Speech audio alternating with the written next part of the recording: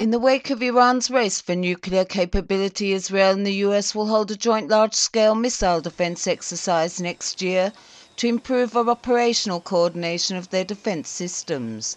Both the Arrow 2 and Iron Dome missile defense systems and America's THAAD, as well as the ship based Aegis ballistic missile defense system, will take part in the exercise, where actual launching interceptors will be used. Last week, Air Force Commander in the EUCOM, General Mark Welsh, visited Israel for talks with Israel Air Force Commander Major General Ido Nehushtan. The two discussed the upcoming Juniper Cobra exercise. Officials said the exercise scheduled to take place in early 2012 will be one of the most extensive and complex ever.